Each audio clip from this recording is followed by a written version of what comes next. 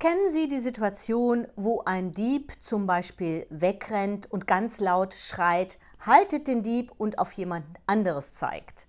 Man sieht das auch manchmal in Spielfilme, wo halt der Täter wegläuft, wegrennt und dann halt ganz laut schreit, da hinten ist der Täter, das ist derjenige, der das gemacht hat.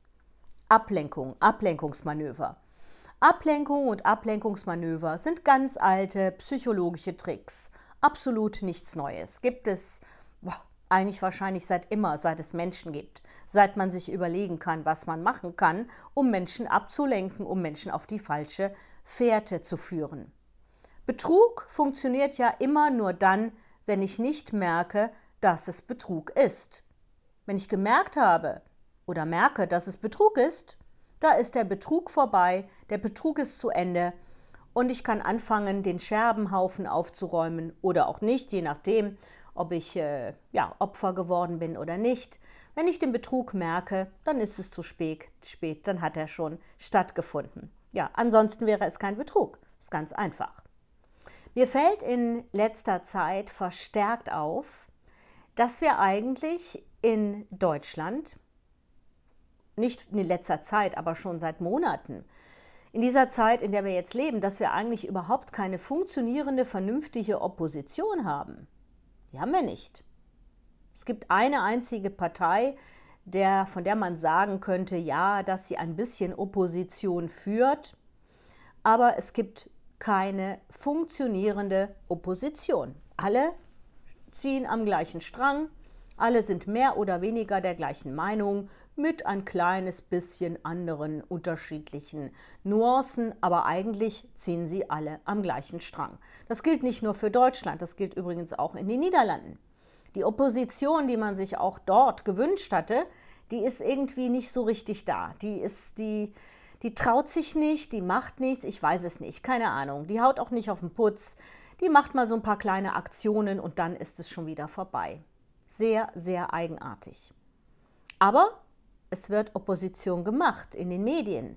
Es wird abgelenkt, Ablenkungsmanöver meine, meiner Meinung nach. Immer wieder fordern Journalisten, Journalisten der gängigen Medien, sie fordern immer wieder eine härtere Gangart hinsichtlich bestimmter Informationen, hinsichtlich auch bestimmter Parteien. Sie fordern eine härtere Gangart, vor allen Dingen auch von den öffentlich-rechtlichen Medien.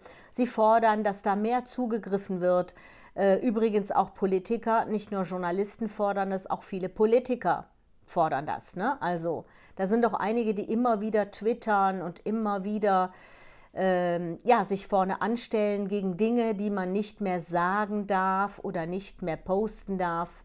Ich hatte das ja in einem anderen Video schon erzählt. Wem glauben Sie mehr? Glauben Sie demjenigen, der Ihnen sagt, Sie dürfen alles sagen, Sie dürfen alles teilen, Sie dürfen alles schreiben, solange es natürlich nicht ähm, verletzend ist, diskriminierend ist, solange es nicht anderen Menschen schadet. Das ist ganz klar. Oder anderen, nicht nur anderen Menschen, sondern auch, wenn sie aufrufen zu Gewalt oder sonstigen Dingen. Das schadet natürlich. Das ist ganz klar. Da brauchen wir uns überhaupt nichts vormachen. Aber das, wo wir jetzt im Augenblick da sind, und das ist 99 Prozent der Bevölkerung, gehört nicht zu diesen Menschen, die so etwas tun. Da bleibe ich bei. Es wird ein, äh, es wird ein Problem kreiert, es entsteht ein riesen Luftballon, es werden auch Straßen vollgeschrieben mit irgendwelchen Sprüchen über Dinge, die wir alle nicht machen sollen, wo wir alle gegen aufstehen sollen. Meiner Meinung nach sind das, zumindest in Deutschland und schon gar nicht in den Niederlanden, gefühlte Probleme. Übrigens auch in Frankreich und in Belgien, nur in einem ganz kleinen Bereich. Meistens hängt das auch nicht damit zusammen, dass es einfach schlechte Menschen sind, sondern meistens einfach nur damit, dass das soziale Brennpunkte sind, wo dann viele Menschen zusammenkommen aus unterschiedlichen Kulturen, die alle ähm, im gleichen wackeligen Boot sitzen, die alle im gleichen mini kleinen Ruderbötchen sitzen. Und meistens übrigens interessanterweise äh, stelle ich dann auch fest, dass da trotz allem dann eine große Solidarität ist. Ist auch wirklich ein interessantes Phänomen, aber ist ein anderes Thema. Ja, dieses Ablenkungsmanöver, Ablenkung von den wirklichen, von den echten Themen, das findet statt. Und seit einigen Monaten findet das verstärkt statt. Immer wieder wird ein neues Fässchen aufgemacht. Immer wieder gibt es neue Dinge, um die wir uns kümmern müssen, wo wir äh, einschreiten müssen, wo wir auch aufstehen müssen, äh, weil es ungerecht ist, weil wir ja gute Menschen sind.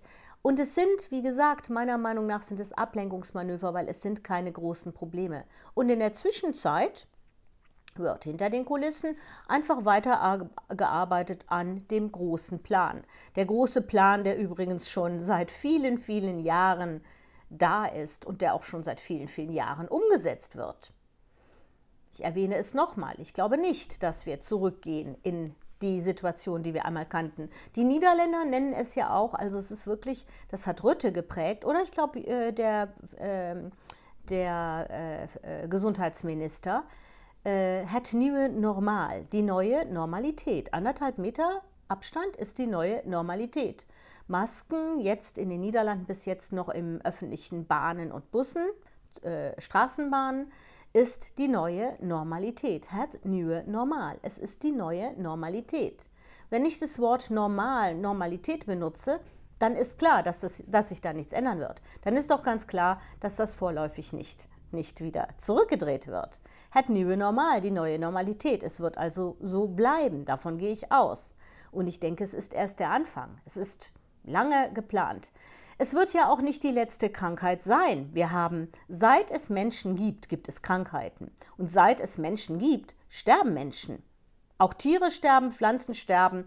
Es verändert sich alles. Die Erde hat bis jetzt alles mitgemacht. Wir sind hier nur wirklich ein ganz kurzer Pups, wenn man so will, Pups oder ein Sandkörn im großen Getriebe.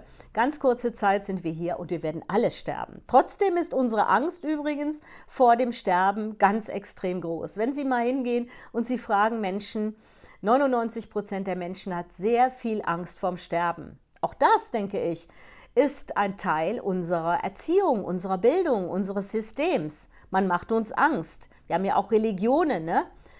Wer kann schon von sich behaupten, dass er noch nie eine Sünde begangen hat, dass er noch nie etwas gemacht hat, was nicht darf? Das kann niemand von sich behaupten, nicht auf dieser Erde, kein Mensch auf dieser Erde. Und es ist meiner Meinung nach auch nicht gewollt, weil wir unsere Aufgaben erfüllen müssen und manche schaffen das besser und andere schaffen das schlechter und jeder schon als Kind hat mit Sicherheit schon mal etwas gemacht, was nicht so toll ist. Deswegen ist natürlich bei uns allen auch diese Angst da. Und ich kenne das, weil ich bin in einer katholischen Schule aufgewachsen. Die Angst vor diesem, ja, das Böse, ne? dieses, dieses Feuer, wo man dann reinkommt. Als Kind hatte ich da riesige Angst davor, weil es immer wieder von den Nonnen erzählt wurde, wo man hinkommt, wenn man was Böses macht. Ja, deswegen hatten wir auch wirklich ganz große Angst davor. Und sei es nur ein Bonbon aus dem Schrank der Mama zu nehmen, das, äh, sogar das wurde uns ja gesagt, ist ganz, also es ist Psychoterror, also wirklich. Das dauert lange, ehe man darüber hinweg ist und da muss man schon wirklich hart an sich arbeiten. Aber irgendwo tief im Innern, ganz tief im Innern, bleibt so ein kleines bisschen von dieser, ja, von dieser Angst stecken. Und ich weiß es ja auch nicht genau. Ne? Womöglich ist es ja doch da und womöglich habe ich doch ein Bonbon zu viel gestohlen oder mal eine Freundin beschimpft oder was auch immer oder nicht gemacht, was meine Eltern wollten oder noch ganz andere Dinge. Einige haben ja auch noch ganz andere Dinge gemacht. Und ich sage ja auch immer, der Schöpfer wird äh, alle auf die Matte rufen. Ich nenne es aber Karma und heute bin ich davon überzeugt, das sind nicht die kleinen Dinge. Es sind einfach die ganz, ganz, ganz großen Dinge, wo ich planmäßig schon auf lange Sicht bestimmte Dinge ausführen möchte, die der Menschheit schaden. Es geht um die großen Dinge. Die kleinen Aufgaben sind da, um sie zu meistern. Die bekommen wir auch.